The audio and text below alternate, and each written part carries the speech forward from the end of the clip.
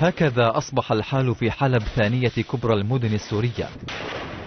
بعد أن ظلت لفترة طويلة في منأى عما يدور في غيرها من المدن.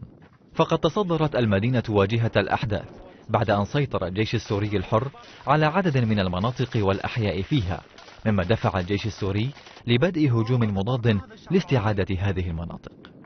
أحياء حلب لم تعد كلها وفية لنظام الأسد فقد شهد حي صلاح الدين اشتباكات هي الأعنف في المدينة بعد أن عزز الجيش السوري قواته هناك في محاولة لاستعادة السيطرة عليه.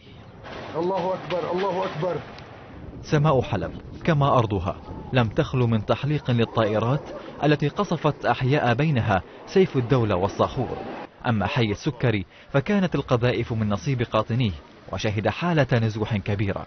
في حين دارت الشباكات في حي الحمدانية.